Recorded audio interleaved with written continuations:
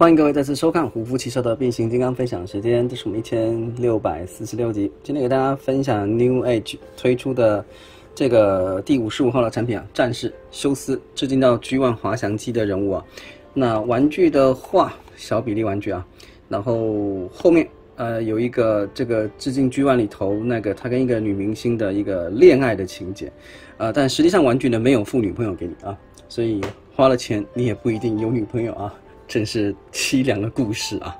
那么玩具本身最大的弱点在哪里？其实并不是这个玩具有问题，而是 Hasbro 方面呢推出了太多小比例的滑翔机的玩具，几乎吧，呃，滑翔机的玩具好像很少有出到 Deluxe 等级啊，几乎都是 Commander Class 啊，Squadron Class，那么就会跟这个小比例的玩具呢产生一个冲突啊。当然，如果你希望说画风更加一致的话呢，那你可能还是会挑 NA 吧。那玩具本身附带的东西呢？虽然没有附带女朋友给你，但至少附带了一把枪给你啊，对不对？这个枪的话呢，当然是拿在手上了啊。那么呢，很遗憾呢，没有女朋友给你，但是呢，啊，还附给你一张外星人的鬼脸啊。怎么越听越凄凉的样子啊？这到底是怎么回事？这个节目充满了负能量啊！大家还是赶快转走好了啊。那这个也是致敬到 G One 动画片里头啊啊，当然他们有应该有一个类似于是一个一个僵尸走路的一个造型，我们也可以来稍微摆一下啊。这个人物的脚板呢是比较大的啊啊，如果说重心稍微把握一下，应该也是可以啊做得出来。那另外这个起落架的话呢，可以说至关重要啊。待会 ending 的时候呢，你就知道这个起落架为什么很重要了。然后它这个腰部这里啊，因为有一个往下屈的一个关节，但是呢这个地方啊，我是不太清楚啊，因为它这里啊，跟各位稍微提一下好了啊，它的这个两只脚完全打平的时候，前面是平的状态下啊，它这样子放到这里呢，我是没有办法完全靠到底部，应该就只能做这样子而已。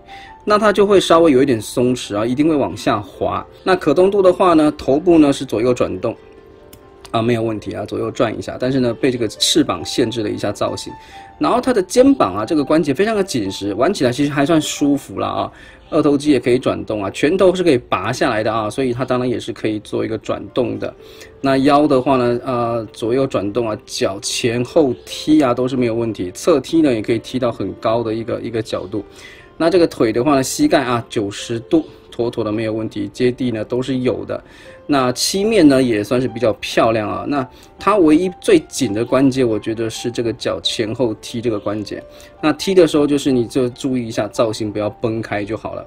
那总体的素质来说还是比较优秀的啊，基本上没有什么硬伤。那我们暂时先啊再把它原本的脸给各位看一下好了啊。OK，原本的脸是戴口罩的啊，现在也是都是要还是要戴口罩吧。那我们来示范一下它的变形啊啊，非常有趣的变形过程。当然，有些人可能会觉得说，嗯，做到这么碎有必要吗？啊，那没有关系，这个是提供一个不同面向的玩家取向。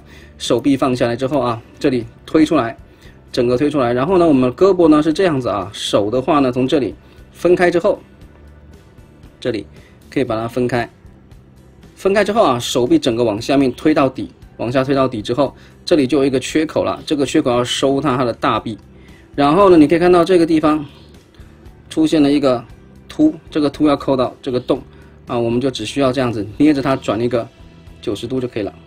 过来，把它给扣上去啊，到这边，好，这样子就扣上了。那另外一侧也是一样的啊，首先从这里把它给分开来，往下折到底。然后呢，往上臂过来，这里推过来到这边，把它给扣进去。好，这边就算 OK 了啊。那么这个后面这个部分的话呢，把它给往下面放下来的时候，这里有两片部件，这里推出来，把这个凸推出来，另外一侧一样啊，推出来，往下就是这里有一个凸跟凹的一个结合，把它给扣上去。然后这块部件往上面提一下就行了，到这边。好，那么这一块。呃，原本的这个人人的这个肚子这一块打开啊，里面没有爱心啊，幸好里面有爱心，再多个爱心的话，那还不撒狗粮了。那么到这里之后呢，我们就开始进行腿部的变形了啊。腿部变形是这样子，先把腰部旋转一百八十度，然后呢，这里中间的这个双动关节把它往上提上来，到这里，待会儿是要扣上去的。那么接下来的话呢，记得我们的大腿的话呢，要转到这一侧，记得金属面这一侧，我我给我侧边给各位看一下，你就知道了。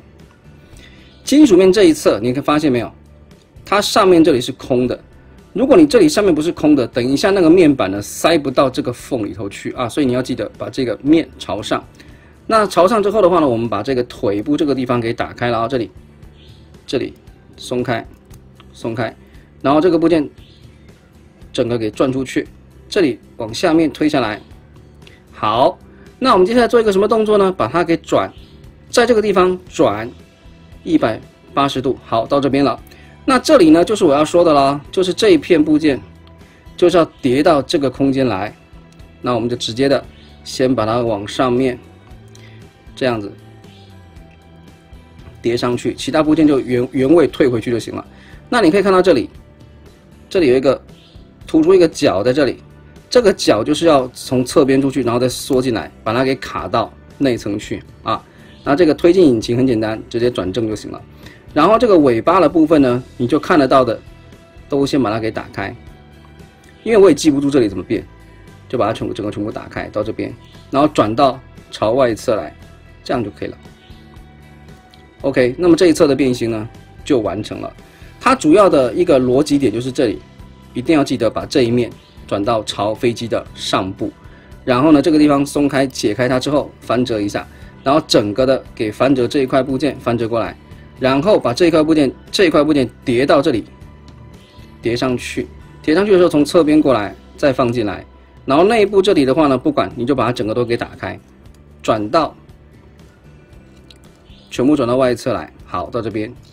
这个部分的话呢，就是你就看着你就知道怎么变了。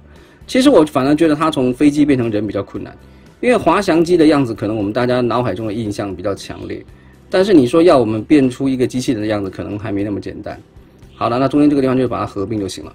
那这里的话，这个部件把它给推过去，转过来，然后两侧呢做一个简单的小合并。变形的过程其实算舒畅。啊，记忆点也是很强啊！我大概变个一次，就差不多记起来。但是第一次变的时候是比较痛苦了，真的比较痛苦，因为你完全看不懂说明书的那个意思，因为它写的实在太琐碎了。但是也不能怪说明书琐碎，因为它变形就是如此的琐碎啊。好，那这个机翼啊什么的，因为我发现它没有办法，没有很明确的卡扣的位置，所以有时候都是要自己再去做一个调整。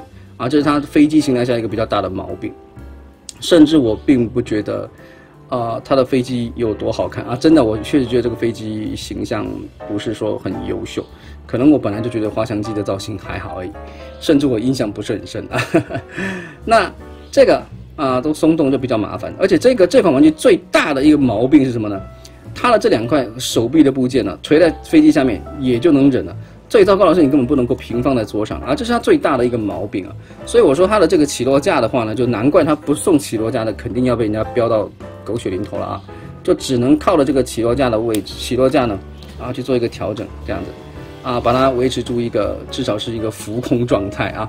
那这个剩下这个鬼脸，如果你没有地方收的话，你也可以把它放在下面啊！这是有一个带着鬼脸的一个飞机 飞过去啊！好。那其他的机飞机状态下就是 OK，我说了啊，这个是我个人没有很满意啊，后面的破碎的部分也比较多。那还有这两个一个很大的这个螺丝的一个在这里啊，Anyway，但是它的人形真的是挺好看的，变形也是有趣啊。这飞机也不是说多糟啊，就只是我是说就是相比较人形的话，这个飞机差强人意，而且最糟糕的还是这个官方很多这种小比例的滑翔机了啊。那变成说，如果你只是缺滑翔机的小比例玩具的话，那那那么这一款其实优势就没有那么明显啊。那这个就是这一集的节目啊。最糟糕的还是呢，我花了钱还是没有女朋友啊，这实在是太糟糕了。那今天就给各位进到这边，非常谢谢各位的收看，我们下期再见，拜拜。